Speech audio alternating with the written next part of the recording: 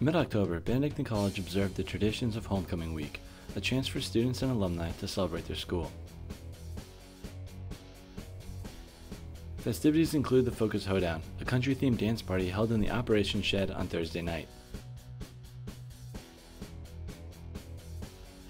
The next day, each residence hall displayed their decorated float, which was scored by a panel of judges before it participated in the homecoming parade.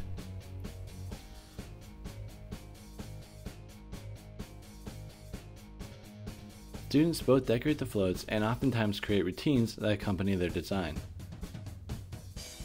Students got up bright and early on Saturday morning to participate in the annual bed races. St. Scholastica won the women's race, with Turner winning the men's and off-campus housing winning the co-ed division.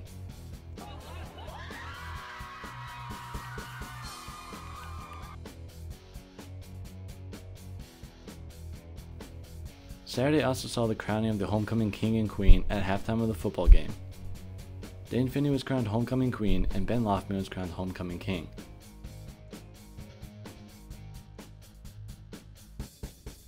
This year's homecoming was an impressive display of the school spirit and sense of community that Benedictine College is known for.